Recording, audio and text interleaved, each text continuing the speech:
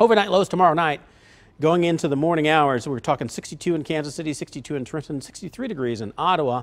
And Futurescan is still painting on a slight chance of some residual showers. Again, sprinkles of light rain that try to pop up in the pre-dawn hours, fizzles out by morning, and then as we go toward the afternoon. Again, don't be surprised if one of these hits you in the head.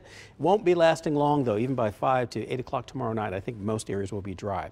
But look at our temperatures, only about 80 degrees in Kansas City, same for Trenton, 79 for a high temperature in Ottawa. It remains relatively cool. So the hour by hour forecast has it starting in those 60s ending up with a high temperature close to 80 degrees, mostly cloudy skies, hazy stuff because of all the fireworks that will be going on. That's going to keep it kind of polluted or at least kind of nasty close to the ground, but still about a 20% chance, if that, of a stray shower. But I still think chances are in your luck's in your favor for sure.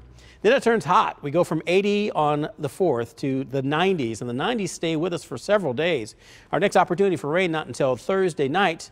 94 the high then, 92 on Friday, and look at Saturday and Sunday of next week. That's a far cry from where we are right now. 30% chance of thunderstorms, only a 30% chance as opposed to that 100 we were talking about. Hmm. 90 on Saturday, 91 degrees on Sunday, morning temperatures in the 70s.